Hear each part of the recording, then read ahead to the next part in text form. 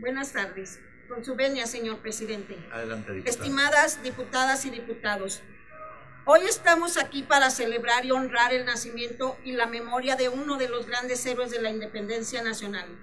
Un prócer que junto con otros héroes de la independencia le dieron a México su libertad y su identidad, así como su dignidad como nación soberana en América. Su nombre, José María Morelos y Pavón. José María Morelos y Pavón nace en Valladolid, Morelia, el 30 de septiembre de 1765 y muere en San Cristóbal de Catepec en 1815. Religioso, político y militar mexicano, precursor de la independencia de México. Asumió el liderazgo del municipio del movimiento de independencia tras la muerte en 1811 del cura Hidalgo, a cuya causa se había unido en 1810, y logró importantes victorias en el sur, Trató además de dar forma política a sus ideales de justicia e igualdad a través del Congreso de Chilpancingo en 1813, que formuló la Declaración de Independencia, otorgó a Morelos un amplio poder ejecutivo y puso las bases para una constitución liberal y democrática que sería aprobada en 1814. José María Morelos era hijo de Manuel Morelos, de oficio carpintero, de ascendencia india y de Juana Pérez Pavón, criolla, cuyo padre había sido maestro de escuela en la ciudad durante 14 años. Además de las primeras letras que le enseñó su madre, solo se sabe que ayudó en lo que pudo a su familia. La muerte del padre en 1795 significó una importante, un importante cambio a la custodia de su tío Felipe Morelos. Se trasladó a una hacienda cerca de Apaxingán, Michoacán, y se dedicó primero a la labranza y poco después a conducir como arriero a una recua de mulas que su tío empleaba para transportar los ricos cargamentos de mercancías entre el puerto de Acapulco, terminal de los galeones de Manila y la Ciudad de México. Esta actividad le proporcionó unos ingresos regulares que el joven Morelos Invertía en comprar mulas y sostener a su madre y hermana. Así vivió hasta cumplir 25 años y en 1790, ante la insistencia de su madre, que deseaba su ingreso en la carrera eclesiástica, con la ilusión de que se diese a una capellanía que le había dejado su abuelo materno, se separó de su tío Felipe y regresó a Valladolid para ingresar en el colegio de San Nicolás. Ahí tuvo ocasión de conocer al rector Miguel Hidalgo y Costilla, con el que coincidió durante dos años. Estudió gramática y latín y dos años más tarde amplió estos estudios en el, en el Seminario Tridentino de la misma ciudad, recibiendo instrucción en retórica y filosofía. El 28 de abril de 1795 recibió el título de bachiller de artes de la Ciudad de México poco después solicitó de la jerarquía eclesiástica de Valladolid que se le confiriese la tonsura clerical y los cuatro órdenes menores y el subdiaconato, lo que consiguió a finales de ese mismo año, en abril de 1796. Aceptó una oferta del cura de Uruapan para enseñar gramática y retórica a los niños del lugar.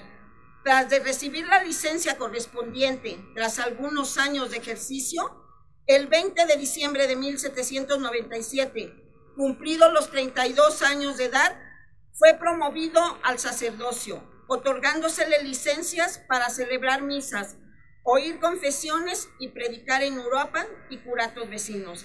Así inició una larga carrera sacerdotal que le llevó a ejercer de cura párroco primero a un marginado distrito de Churumuco, etapa durante la cual falleció su madre en Páscuaro. Morelos permaneció en Churumuco durante poco más de un año, hasta en marzo de 1799. Se le transfirió a la, parroquia de Carácuaro, a unos 50 kilómetros de distancia, tan pobre como la anterior, pero mucho más poblada. En Carácuaro vivió Morelos toda una década, administrando la parroquia y viviendo de las aportaciones de sus feligreses que se resistían por todos los medios al pago de los impuestos eclesiales. Al estallar la guerra de independencia en el campo insurgente, resultaba indispensable establecer un cuerpo dirigente que tomara medidas urgentes de gobierno. asegurara la coordinación de las acciones y garantizara la unidad y la permanencia del movimiento. Por iniciativa de Morelos, el 15 de septiembre de 1813, se reunió en la ciudad de Chilpancingo el Congreso de los Representantes de las Regiones Liberadas. Como era inevitable, sus delegados eran todos letrados, eclesiásticos o abogados del grupo que acompañaba a Morelos o la Junta de Zitácuaro. Desde sus inicios, el Congreso quedó así, dominado por la clase media. El 6 de noviembre, el Congreso de Chilpancingo proclamó formalmente la independencia de México, rechazó la monarquía y estableció la república. De inmediato se dedicó a discutir la constitución apropiada para la nueva nación. El 22 de octubre del siguiente año, en la pequeña ciudad de Apancingán, era programada la primera constitución de la nación mexicana. En el Congreso de Chilpancingo se, se percibe claramente el sello de la concepción liberal. Al igual que en las Cortes de Cádiz, tomó como modelo la Asamblea Francesa. Quizás Morelos deseaba que se restringiera a tomar medidas urgentes de gobierno y providencias para la marcha futura del movimiento.